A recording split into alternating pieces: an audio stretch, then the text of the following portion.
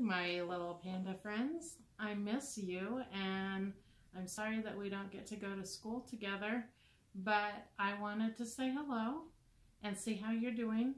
And I thought that since I'm at home, I could show you my bunny.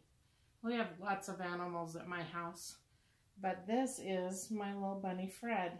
And he is called a lionhead rabbit. He's a little bit different than probably the regular bunnies that you see outside hopping around in the yards or in parks. Um, he looks a little bit different and he has really long, kind of crazy hair. And this hair around his head gets very, very long and looks kind of like a mane, and I think that's why they call him a lion head, as he has that wild hair around his head like a lion. Say hi, Fred.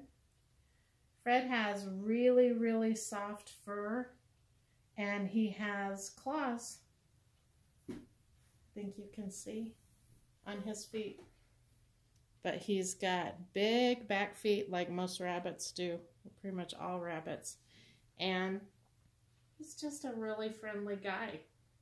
I brought a couple things to show you. Fred eats pellets that look like this. And he also eats lots and lots of hay that looks like this. And rabbits can eat lots of different kinds of fruits and vegetables just like you do. They like carrots and they like lettuce and kale and I think I told you guys a story the other day about one of my my rabbits that used to love to eat watermelon, and he would get red all around his lips from um, eating watermelon, and he looked like he was wearing lipstick.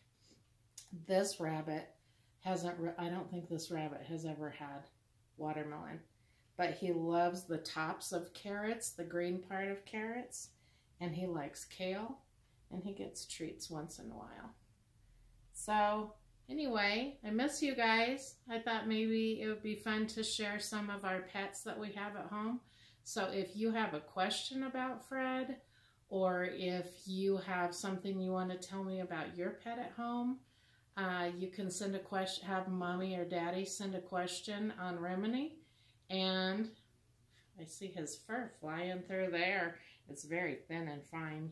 Um, and I hope you're having lots of fun at home with your families. So I'll stay in touch. Bye, pandas.